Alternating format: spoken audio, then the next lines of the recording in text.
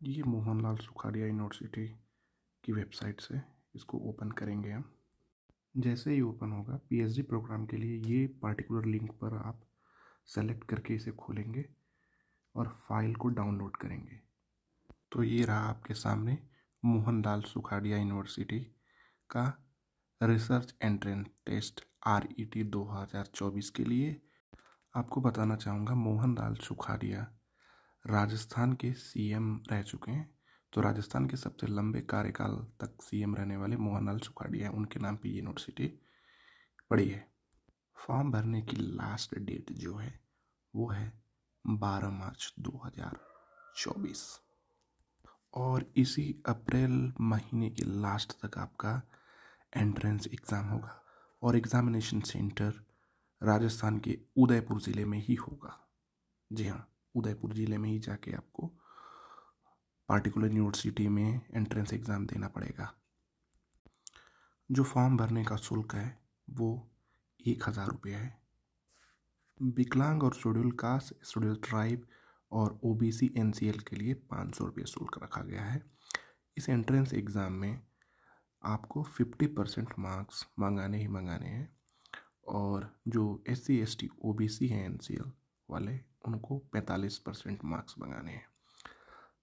Hundred M C Q होंगे, जिसमें fifty M C Q research methodology से होंगे और फिफ्टी क्वेश्चंस आपके सब्जेक्ट ओरिएंटेड होंगे।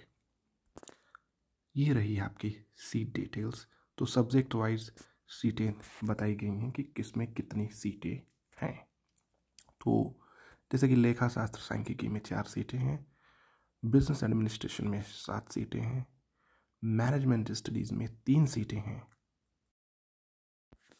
जर्नलिज्म में तीन, लाइब्रेरी इंफॉर्मेशन में एक, पॉलिटिकल साइंस में पाँच, पब्लिक एडमिनिस्ट्रेशन में दो, सोशियोलॉजी में नौ, उन्नीस सीटें हैं, जो कि काफ़ी ज़्यादा सीटें हैं। आपको जो डेफिनेटली सोशियोलॉजी वाले को ये फॉर्म भरना चाहिए, इंग्लिश में आठ सीटें हैं, हिंदी में पाँच, हिस्ट्री में चार जैनोलॉजी जैनोलॉजी में एक सीटें हैं, म्यूज़िक में छः फिलोसफी में कोई सीट नहीं आई राजस्थान में कोई तो सीट नहीं नंबर ऑफ़ सीट्स जो है विश्वविद्यालय के द्वारा सीटें आई हैं के लिए भी कोई सीटें ये नहीं आवंटित की गई विद्यालय विश्वविद्यालय के ऊपर जिन लोगों का रेट 2023 जिन्होंने दिया हुआ था वो डायरेक्ट इंटरव्यू के लिए अपीयर कर सकते हैं। इसमें इनकी गाइडलाइन में ऐसा लिखा हुआ है। एलिजिबिलिटी की बात कर लें तो मास्टर में आपका 55 परसेंट्स होना चाहिए। और एस सी एस टी वालों के लिए पचास प्रतिशत होना चाहिए। एग्जामेशन की कैटेगरी में किसी को भी नहीं रखा गया है, चाहे आप जे आर एफ़ की हों, चाहे आप नेट की हुई हैं चाहे आप सी एस आई आर से एल एस या जे आर एफ़ हों, आपको एग्जामेशन नहीं मिलेगा। अर्थात रेट का एग्ज़ाम सभी को देना पड़ेगा।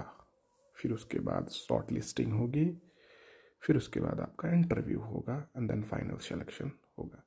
तो ये रहा मोहन सुखाड़िया यूनिवर्सिटी का फॉर्म। आशा करता हूँ कि मैंने जो आपको इन्फॉर्मेशन बताई है, वो अच्छी लगी हो। तो कोई भी भविष्य में पीएचडी इन्फॉर्मेशन आती है तो मैं आपको डेफिनेटली बताऊँगा।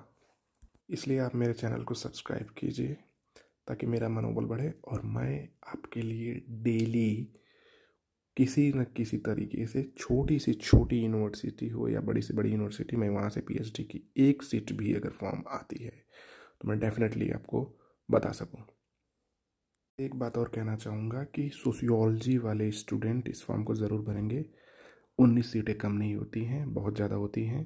तो आप अगर एक हज़ार या पाँच सौ रुपये लगाते हैं तो आपको उन्नीस सीटें मिल रही हैं। तो ये एक अच्छी अपॉर्चुनिटी है। ठीक है दोस्तों आशा करता हूँ कि मेरे द्वारा दी गई जानकारी आपको अच्छी लगी हो। धन्यवाद।